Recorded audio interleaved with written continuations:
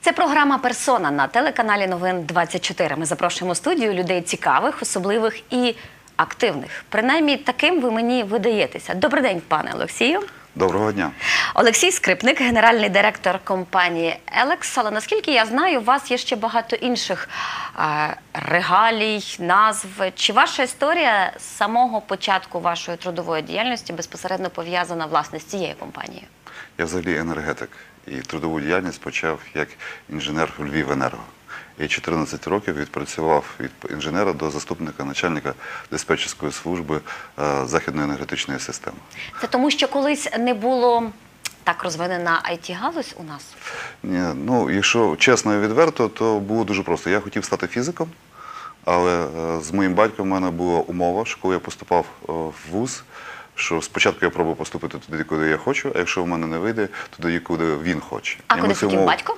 Батько хотів, щоб я став так само, як і він, енергетиком. Тому я, коли не зміг здати е, російську мову в МГУ е, на фізфаку, поступив на енергетичний факультет е, Львівського політехнічного університету. Ну тоді Львівської політехніки. Ви розчарували себе чи тата? Ні, я абсолютно не розчарував. Потім, через багато років, зрозумів, що напевно тато був правий. А що казала мама весь цей час?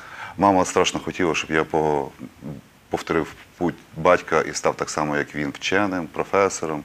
Але я в кінцевому випадку в тому відношенні трошки розочарував маму, не пішов. Тобто я такий вічний аспірант. Знаєте, я три рази поступав в аспірантуру, і так мені ніяк її закінчити не можу. Не кажучи про вже там про PhD або кандидатську, не кажучи вже про докторську. А вам не вистачає терпіння чи наполегливості, чи часу? Е, Занадто багато скепсису відношення до того, що зараз називається українська наука, до дисертації і всього іншого. Тобто, бачиш, коли трошки воно пустопорожнє. Про це ми зараз ще поговоримо. Коли у вас був перший комп'ютер?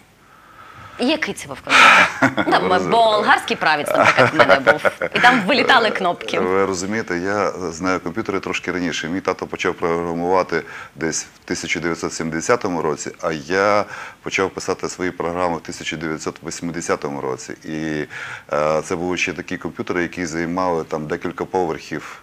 Тобто це не можна було назвати таким маленьким комп'ютером.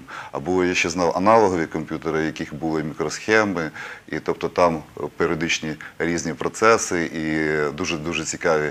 Ще бачив ще старі комп'ютери, Це те, що називалося ЕВМ? ЕВ, да, так, електронно-вичислительні Машини. машини, тобто великі. І тоді на те, щоб пропрограмувати, треба було записуватися в ніч, тому що в день не можна було. Тобто ти отримав якийсь там час, приходив, ти мав перфокарти, засовував їх в перфорщитувач, воно щитувало, потім ти отримав роздрук, читав його, дивився, що де в тебе неправильно, запускав наново. Тобто тоді програмування виглядало зовсім інакше, ніж воно виглядає зараз. Можливо, цікавіше? Е, Я думаю, що напевно цікавіше було знаєте, така аура виключності. Тобто програмістів було дуже мало, і вони е, знаєте, так це була така елітарність, трошки елітарність. Тобто програмістів, на відміну від теперішнього часу, було дуже дуже мало. Ви розпочали свою активну трудову діяльність, про яку вже ми добре знаємо. В 91-му році ваша компанія так була заснована. Так. А що таке в 91-му році вам дало знак, що це галузь має гарну перспективу? Не а, продавання масла чи помідорів, не нафта, не металургія, а от власне it технології Якщо чесно, то відверто, то нічого. Ви просто піддались інтуїції чи Ні, захотіли ні, займатися людиною справою? е, Ми з батьком е, була така дуже цікава ідея. Е, Батько розробляв програми для моделювання енергетичних систем підводних атомних човнів. От атом, і ми вирішили, що було би цікаво спробувати ці програми перетворити для того, щоб використовувати в великій енергетиці. Тобто побачили, що є не, вистачає таких програм, які можуть це рахувати. Ми вирішили, давайте спробуємо. Тобто, це не було питання бізнесу, це було питання такої наукової діяльності. Нам було цікаво просто попробувати, чи з того щось вийде. І коли почали працювати власне такому промисловому для промислового програмування, зрозуміли наскільки це відрізняється від науки. Так, тобто відчули. Тобто, ми вирішили, ми думали, нам здавалося, що ми зможемо за два роки закінчити програму. На того, щоб реально закінчити впроваджувати, пішло сім років. Тобто, і це дало поштовх для того, щоб розуміти, що е, наскільки от впровадження інновацій, так інноваційних ідей, воно набагато більш тяжче, ніж здається науковцям в перший період, коли їм здається, от у нас є дуже кльова, класна ідея, давайте ми спробуємо на ній заробити гроші. Наскільки я бачу зараз, принаймні я це чую, про вашу компанію говорять як про найуспішнішу. Не знаю, чи про всю Україну, але у Львові 100%. Хто чує про вас, хто навіть вас особисто не знає.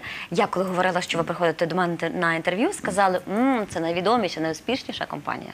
Я думаю, що це ілюзія. Є ще більше компанія Софтсер, дуже класна, є багато класних компаній. Ми просто е, розумієте, ми пробуємо себе позиціонувати в такий сектор, де робити дуже складні і дуже такі речі, які е, ну, ми себе позиціонуємо як інженерний бутік. Тобто ми хочемо робити дуже складні речі, дуже цікаві. Тобто такі речі, з яких можна було би гордитися, можна було би казати Вау, кльово! Україна може щось має такі речі, які ніхто не має. І ви ж їх робите. Ми їх робимо. І ви відчуваєте, що є щось, що вам неможливо. Насправді є такі проекти. Розумієте, це є дуже часто проект, е, складність проекту лежить не в питанні розумової складності. Є ще поняття бізнес-складності. І коли ти не маєш розуміння тої складності, ти, ти розумієш, що ти не потягнеш просто відсутність такого досвіду, бізнес-досвіду. Тобто ми відстаємо. е, З точки зору Ми це фірма чи ми Ні, це я би сказав так. Ми, як країна, ми відстаємо з точки зору розуміння продуктовості і бізнес-орієнтованості. Розумієте, ми тому допомагаємо американцям, що ми до кінця не розуміємо сутність їхнього бізнесу, сутність світового бізнесу. Я би так сказав. А ми допомагаємо американцям. Дуже багато. А чому американці не люблять про це говорити? Чому вони люблять про це говорити? Вони насправді достатньо м, утилітарно і цинічно до цього відносяться. Вони кажуть, що якщо у нас є дуже великий проект на багато людей, ми віддамо йому індусам. Якщо у нас є проєкт, який ми називаємо Mission Impossible, так, е, місія неможлива, то ми віддаємо його або українцям, або росіянам. Так, бо для них гонор, що вони чогось не можуть. Знаєте, ви не можете спригнути з Букінгевського е, е, моста. Я не можу. Що? Пригаєте. Без так? парашуту. От приблизно, приблизно так. Тобто нас дуже часто беруть на понт з точки зору того, чи можете ви щось зробити, чи не можете. І ви зробити. можете. Ми кажемо, так, да, ми можемо. До речі, про місію неможливо. Це правда, що ви брали участь у створенні а, певних комп'ютерних спецефектів для а, відомих кінофільмів? Е, Ми брали участь в створенні певних трюків, реальних трюків для дуже великої кількості кінофільмів, але не спецефектів. Тобто ми брали участь там, де знімають реальні зйомки і роблять, наприклад, там о, е, спайдермен е, летить між е, небоскребами. Це робили Так. ви? Так, це робили ми. І який Або- останній спай- спайдермен?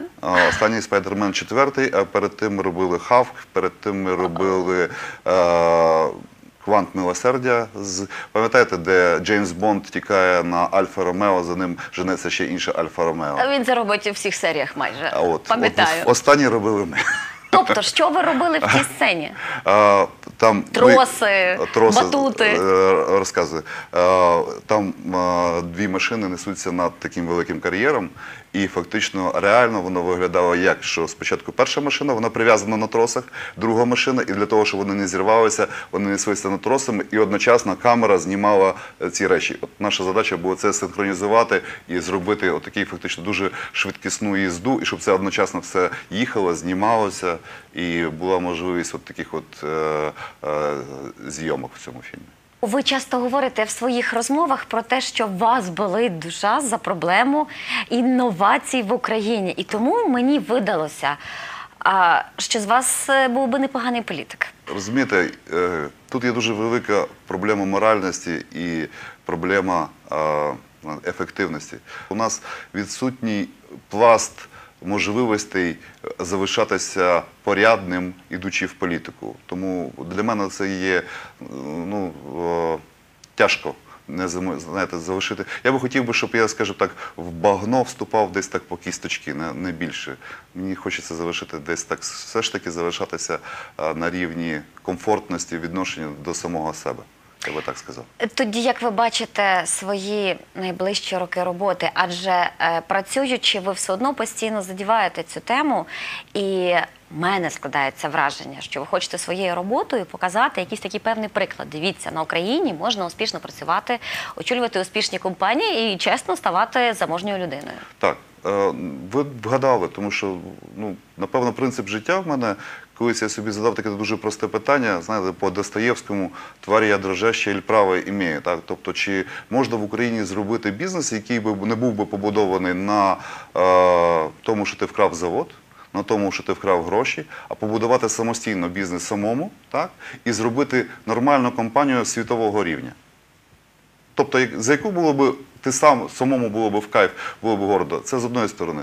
З другої сторони, розумієте, є е, бачення того, що суспільство потребує шаленого розвитку. Тобто ми постійно доручусь за мову, за ще якісь речі, які не є світоглядними.